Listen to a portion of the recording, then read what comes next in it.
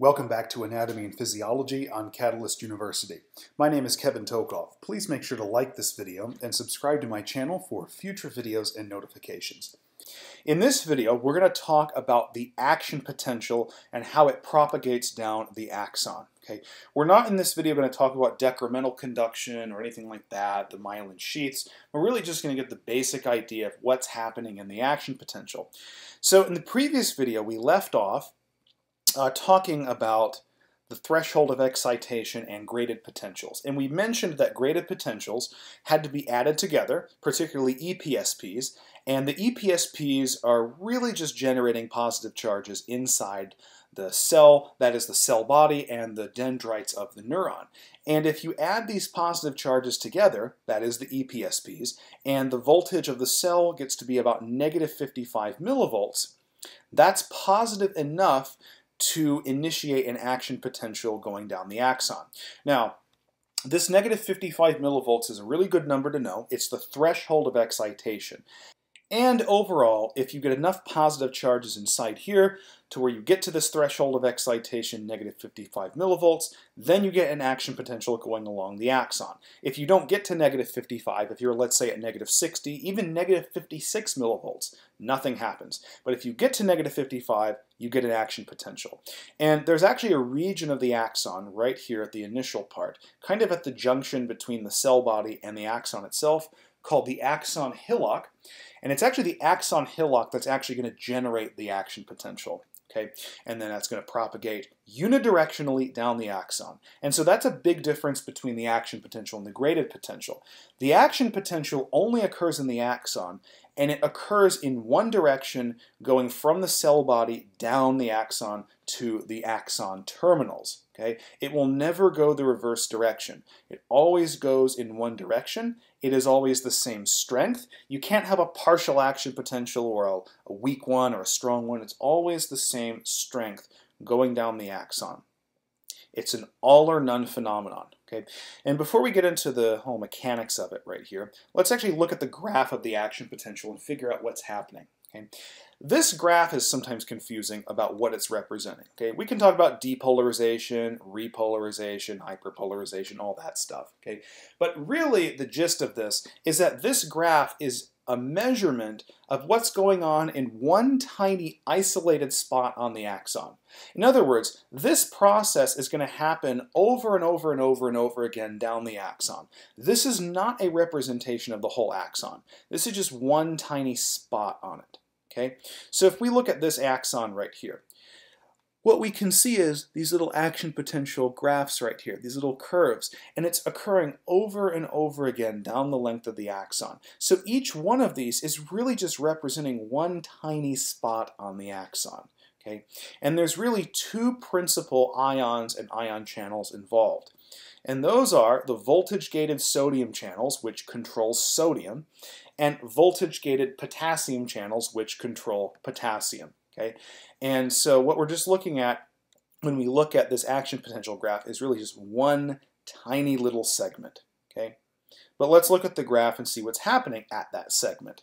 Okay, so first of all, we have to get to this threshold. We talked about that. This initial part is really just the graded potentials. Okay, notice these right here are failed initiations because they're not getting up to negative 55.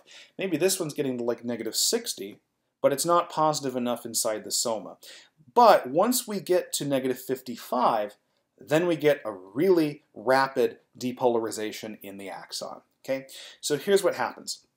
Initially, what's going to happen is sodium ions are going to rush into the cytoplasm of the axon, which we often call the axoplasm.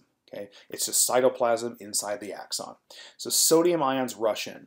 And if sodium ions are moving into the cell, the inside of the cells are going to become more positive, okay, because sodium is a positively charged ion. And this occurs very fast and very uh, heavily, and that's why this is a very steep curve.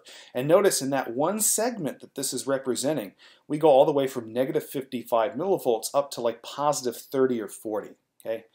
And then we get to this peak. And this rise in the membrane potential to about positive 30 is due to sodium influx through the voltage-gated sodium channels.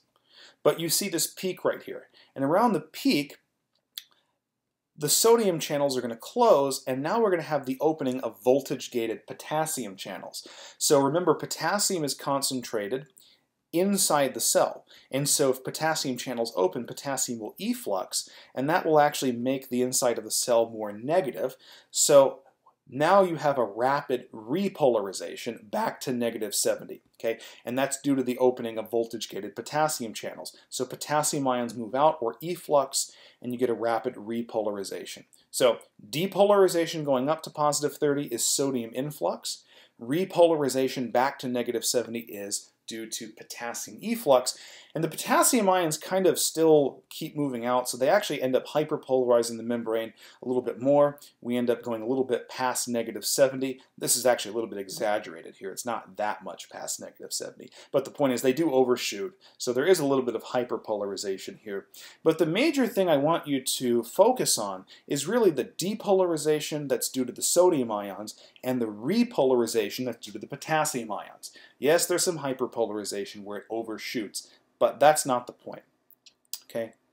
And again, we're looking at the axon here, just one isolated region. But the action potential, which is represented by this graph right here, is happening over and over and over and over again. Okay, so let's actually see what's happening along the length of the axon. Okay, remember I said that near the cell body or soma, which is over here, kind of at the junction between the soma and the axon, which is this whole thing right here, there's a region called the axon hillock. Okay, that region is the part that kind of generates the action potential. And the events that go on there are a little bit beyond the scope here, but it suffices to say that we're going to get a buildup of positive charge here inside the initial part of the axon. Okay, and again, this is one side of the membrane, this is the other side of the membrane down here. We'll remove this black thing down here and look at more details in a few minutes. All right, so when we look at this picture, there's something I want to make perfectly clear. We do have voltage-gated potassium channels here, okay? At first, we're not going to talk about those.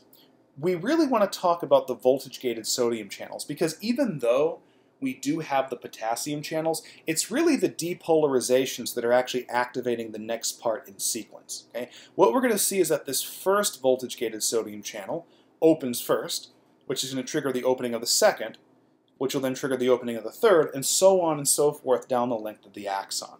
Okay? Now, again, remember, this is our soma over here, or cell body, and if you remember, I stated that there's a region here kind of at the junction between the soma and the axon right here where uh, you have the action potential initiated. This is called the axon hillock. And the exact events that go on here are a little bit beyond the scope, but it suffices to say that at the axon hillock, when we get to threshold, we get a buildup of positive charges here inside the cytoplasm of the axon or the axoplasm. So we get a bunch of positive charges that build up here. Now, the nice thing about these voltage-gated sodium channels is the inside of them, the intracellular part, it has a voltage sensor. And it's able to sense whenever there's positive charges building up. So these positive charges are kind of sensed by the voltage-gated sodium channel, right? And when these ion channels, which are voltage-gated, when they sense these positive charges, they activate. Okay? And so this little explosion here is representing the fact that they activated. So these positive charges right here build up, voltage-gated sodium channel senses it, and it activates. And when this voltage-gated sodium channel activates, due to these positive charges building up, sodium influxes into the cell, which in this case is the axon. Okay? Sodium ions influx right? Now, it's not just going to be one sodium ion. It's actually going to be a lot of sodium ions just in this vicinity, okay? And so in this vicinity, there's going to be a lot more positive charges that build up. These positive charges right here are actually from this sodium influx, because again, it's not one sodium cation, it's a lot of them. And so what you're going to see in this region right here is that depolarization, right? It's this region right here is depolarized because you're getting positive charge influx, okay? Due to the sodium influx here. Now, again, these positive charges right here are going to be sensed by the next voltage-gated sodium channel in this arbitrary region too. And so these charges are going to activate this voltage-gated sodium channel and voila, this voltage-gated sodium channel opens, right? And more sodium ions influx. And again, there's not just one sodium ion, it's a lot of them, and so you've got more positive charges building up in this vicinity. So notice this region right here is going to depolarize, okay? And again, you have more positive charges right here. Again, as you would expect, these positive charges right here are going to be sensed by the next voltage-gated sodium channel. And as you might expect, this voltage-gated sodium channel opens, sodium ions influx, and so on and so forth. You get depolarization right here due to all the positive charges building up. And this process is going to occur all the way down the length of the axon, okay, until you get to the end, which we'll talk about in a future video. Now, one thing I want you to notice is here. Notice that when this initial voltage-gated sodium channel opens, we get that depolarization, right? And we mentioned that those sodium ions that build up inside here lead to the activation of the next voltage-gated sodium channel, as shown right here. And then for the second one, you see this depolarization. Notice for one second that while this second one is depolarizing, the first one is actually repolarizing. Okay? This first one doesn't remain open indefinitely. In fact, it'll open for a really short amount of time, and for the most part, this is just a simple way of looking at it, by the time the second one in sequence opens, this one has actually closed. Okay? And so, again, you're actually in the process of repolarization there, which we'll talk about in a minute. And then you can follow the same pattern to the third one. Okay?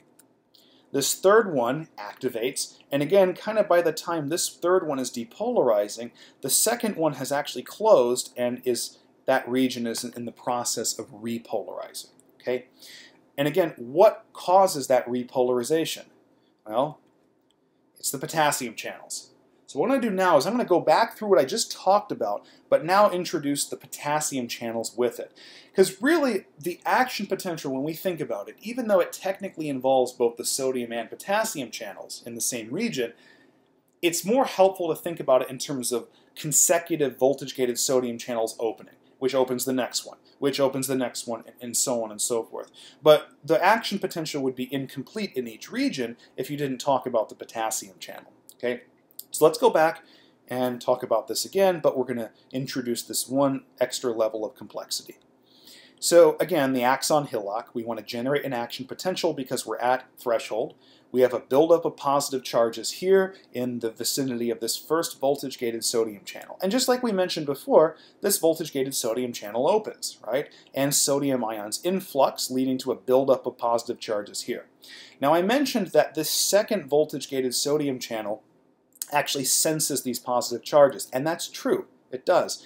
But also, the voltage-gated potassium channel right here also senses these charges. And if you go back to this graph, you'll notice that the voltage-gated potassium channels actually tend to open around positive 30 millivolts. Okay, um, And again, the sequence is a little bit um, skewed from this, but this is just a very basic idea. So around the time that this voltage-gated sodium channel opens, you also get the opening of this voltage-gated potassium channel right here. Okay, So the voltage-gated potassium channel is actually going to lag behind the corresponding sodium channel. And so notice what's happening in the second region. As we talked about before, sodium ions influx and you get a buildup of positive charges over here. But in the first region, it's in repolarization, and that's because potassium ions are effluxing, bringing the membrane potential back down to negative 70. Okay? And also notice the first sodium channel is closed. Okay? So what's going to happen a lot of times is we're going to have the voltage-gated potassium channel open, and then in the distance somewhere down the axon, we'll have voltage-gated sodium channels open all right, so now this second region is depolarized. We now have a buildup of positive charges over here. Okay, we mentioned before that these will be sensed by the third voltage-gated sodium channel, and that's true. Okay, we see that activated here, sodium ions influx in the third arbitrary region. But notice back in the second one, we now have potassium efflux. Okay, in the previous slide, we notice here that the second region has just become depolarized to about positive 30. That's sufficient to open the voltage-gated potassium channels here. Okay, And again, as we see, potassium effluxes and the second region repolarizes. And this pattern of these voltage-gated potassium channels kind of lagging behind the sodium channels, this process is going to continue all the way down the length of the axon, like this. Again, the blue ones are sodium, purple ones or pink ones are potassium, and so you'll kind of see something like this. You'll have the initial voltage-gated sodium channel activated, and you'll kind of just see something like this. Right? So hopefully that makes sense to you. Okay? Let's go back and watch that again. It's kind of a stupid animation, but hopefully it gets the point across that all of these are going to activate in sequence and it's just going to progress all the way down the length of that axon. Again, I think that the potassium channels, you have to cover them because they go along with the voltage-gated sodium channels, but they always lag behind the sodium channels. But really the action potential, when we think about the activation of the next region in the sequence, it's really just due to the voltage-gated sodium channels, where you get one activated, sodium influxes, that sodium buildup causes the activation of the next one, sodium influxes, sodium builds up, that causes activation of the next one, and so on and so forth. But remember that when you're talking about the action potential, you're just looking at one little bitty region right here, right? One little bitty region, okay? And then action potential is complete in that region, it moves to the next one and then to the next region, and to the next region, until finally you get all the way down to the end here. And something different is going to happen down at the end of the axon, okay, something that we actually haven't seen at this point. Okay, but we'll cover that in another video. So quick recap. Make sure you understand two things. One, how the action potential propagates down the axon. It's really just due to consecutive and unidirectional openings of voltage-gated sodium channels in sequence. And then number two, this is happening in one individual region. Opening of voltage-gated sodium channels gets us depolarized to about positive 30. They close, and then you get opening of voltage-gated potassium channels, and you get repolarization down back to resting membrane potential or negative 70. It'll overshoot it a little bit, which is hyperpolarization in this case, and then you'll get back to the resting state. Hey, there's a few other things that we need to tie up here, um, and that actually has to do with the sodium-potassium ATPase. That'll be the next video. And then also what's called decremental conduction. We'll cover that in another video. And then finally, we'll get into the events that actually occur in these terminals of the axons.